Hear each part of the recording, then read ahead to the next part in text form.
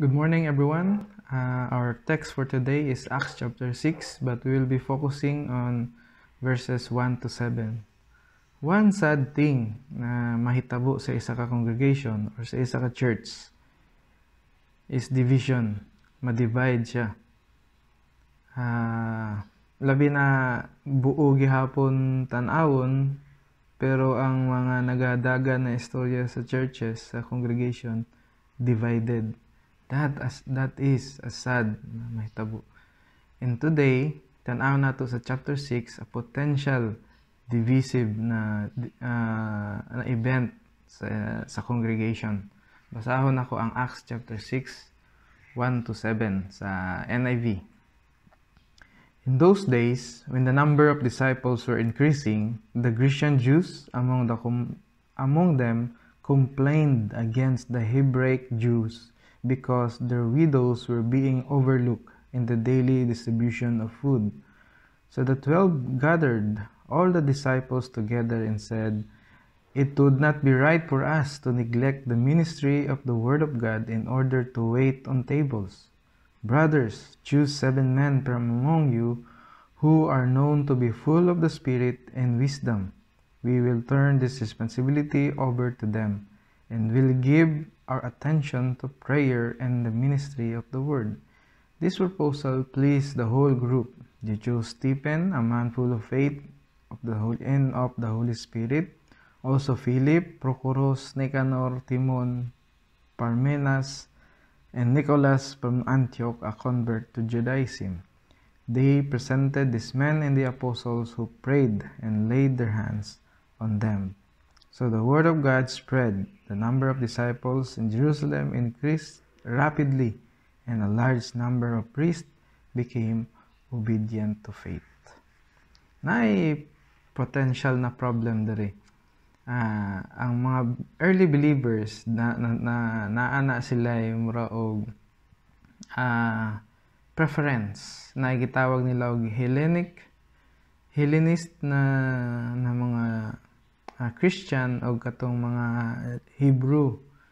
Ang kalahian nila is ang ilahang culture and traditions, ang Hellenist nakalin dito sa Greek na kuan na dagan sa kinabuhi and kaning Hebrew syempre diri sa mga Jew na nakuan. So culture lang ni sila ang na, na nagkalahian ani.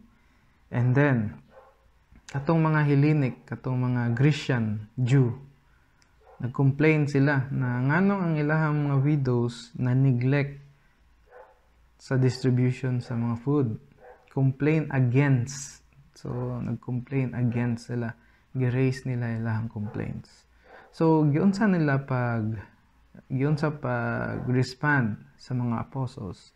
Ang response na ilang gibuhat is gitapok niya tong mga disciples and nangutan ay gi-present nila ang problem and then gi-klaro nila na we cannot neglect the ministry of the word and prayer. So choose among yourselves sa mga disciples a man full of spirit and wisdom para himuon ni siya ng mga butang.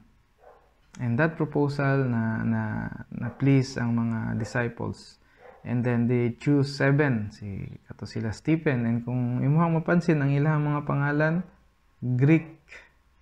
So uh, maybe maybe mga Hellenist ni sila katong naga-complain dito sila nagkuha og uh, group para mo serve ato. So naunsa pag-avert ang division. This is potentially a divis divi divisive na event. Pwede magbalik-balik sila istorya na wala man, wala man, or kuan. So, first, gitanaw nila ang mga Grecian Jew or mga Hellenist, tama ilang gibuhat. Gi-raise nila ang ilang complaint sa apostle. Dili sa daghang tao. Dili dili nila gina chismis sa lain na ingani ingani ingani they raise this, their concern to the right people. So, moto ilahang gibuhat. And then, they trusted the solution sa mga apostles.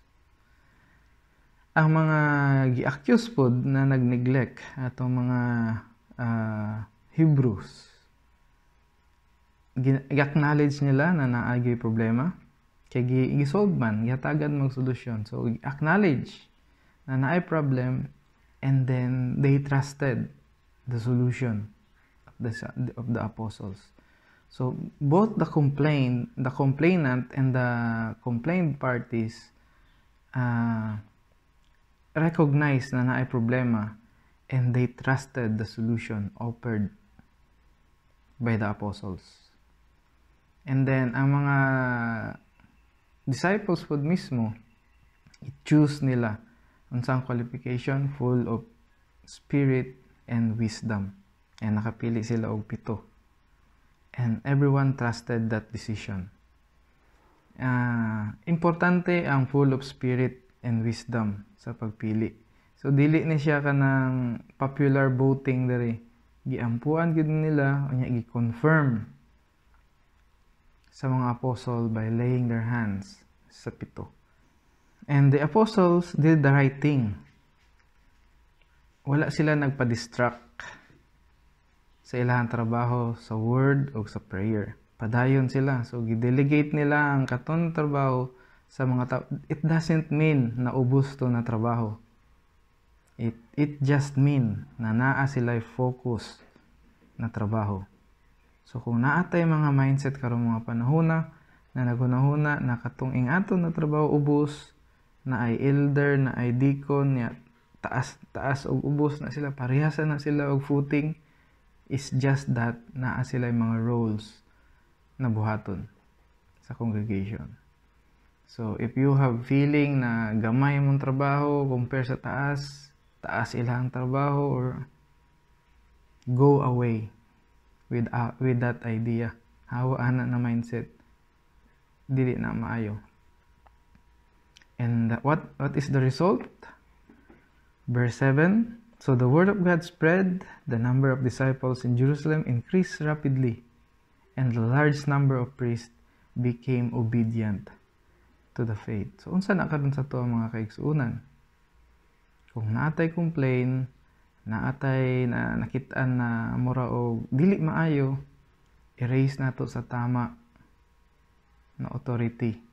Sa, sa tuwa sa church, sa mua, sa leader, sa deacon, sa elders, sa council, erase nato na sa pastor.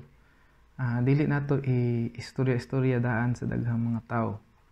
Erase nato sa tama na authority. And when solutions are given, trust the solution ang mga tra- ang ato ang trabaho na mag-disciple sa mga tao, mag-reach out sa mga tao, dili siya mahamper sa mga uh, issues na pwede ra maistoryahan and masolve pinaagi sa pagampo o pag uh, nato sa Holy Spirit.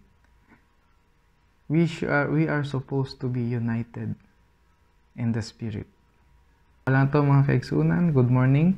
And tomorrow, ang ato ang uh, devotional gikan sa Acts chapter 7 verses 1 to 53. This is about Stephen. Uh, one of the seven na choose nila. So basahon na to mga kaigsunan. Acts chapter 7, 1 to 53. Uh, para kung maminaw nata sa devotional ugma, na natay nabasa na nato ang text. Good morning. Thank you.